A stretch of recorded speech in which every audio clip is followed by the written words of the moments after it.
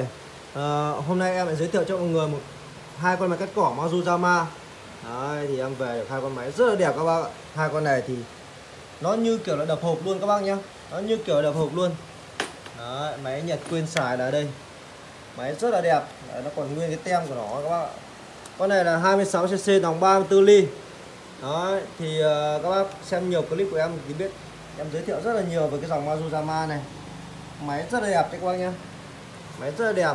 Đấy, cái thương hiệu này chạy cực kỳ bền bỉ một thương hiệu rất là lớn của máy rất còn Nhật Bản ạ. Đây.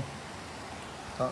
thì uh, rồi đây là con số 1 đây là con số 2 Đấy, bác nào mà muốn uh, mua thì có thể liên hệ với em. Đấy, em quay phía trước các bạn.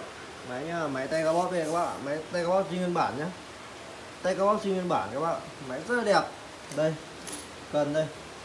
Cần đây máy rất đẹp các bác nhá. Đây đầu bò trong con cỏ nhá.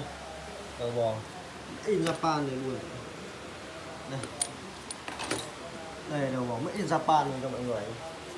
Máy cực kỳ ngon. Hai con rất là đẹp luôn. Cây số 1 và cây số 2 cây số 1 đây cây số 2 đấy ạ. Thì uh, em sẽ test qua tiếng nổ các bác nhá. Con hai con này là 26 cc nòng 34 ly. Máy như vừa đập hộp luôn các bạn máy về rất là đẹp em chỉ uh, chỉ chỉ chỉ uh, xịt qua cho xăng vào đổ là nổ luôn các bạn hình thức nó máy rất là mới nhá. Hình thức máy rất là mới em làm riêng clip để giới thiệu cho các bác. Đó. Đây. Bù cực kỳ sáng. Quá đẹp.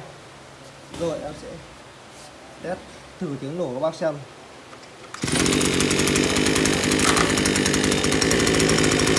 Là lăng kia cực kỳ căng nhá.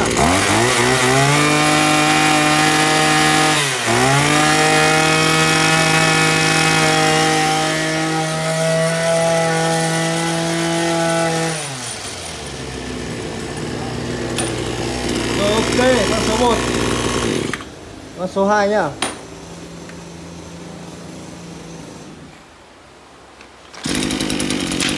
Rất là nhẹ nổ nhá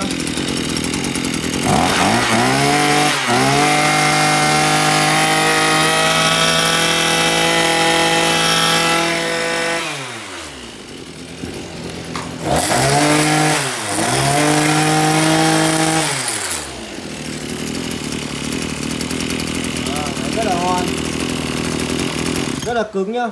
Vâng tí rất là cứng. Đấy, hai con siêu phẩm hôm nay.